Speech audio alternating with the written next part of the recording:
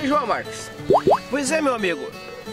Eu, eu hoje se encontrar com você aqui na praça, vamos supor assim, como é que se diz? Hipoteticamente, assim. Hum. É, se acontecesse algo entre nós, você ficaria bravo comigo?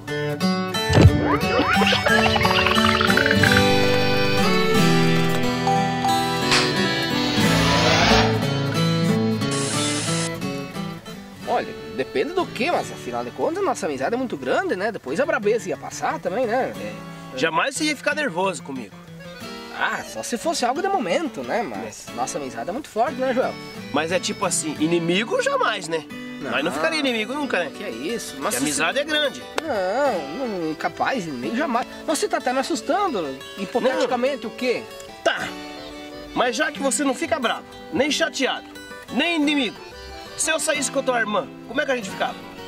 Kits, Joel. Kits. Kits? hoje, hoje o mundo tá tão moderno que a gente fica reparando as coisas e se recorda do, do tempo antigo. Verdade. Por sinal, o casamento, o, o casamento de hoje, os caras casam, deitam naqueles colchão confortado, hum.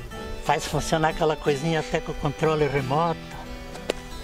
E antigamente o casamento era diferente, era feito as, as caminhas com, com vara do mato.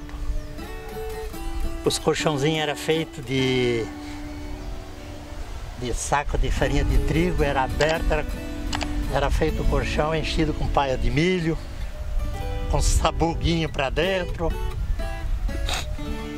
E para mim não era diferente, era do meu tempo antigo, né? E o o travesseiro era feito de marcela, de sinal, bom. Mas o dia que eu casei não era diferente.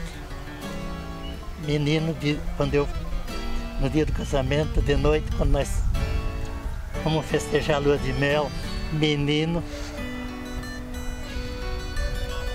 A mulher começou a virar para um lado no colchão, era sabuco cutucando, virando para outro lado, era sabuco cutucando e ela começando a ficar braba, me xingando, começou a falar azaneira e levantou da cama e arrancou a, o lençol e começou a chacoalhar e aquele pozinho da palha de milho por cima de mim e eu comecei a me irritar.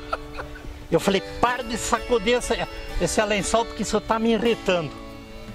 E ela de tão braba que tava, sacudo, sacudo, sacudo. Sacudo, sacudo, sacudo.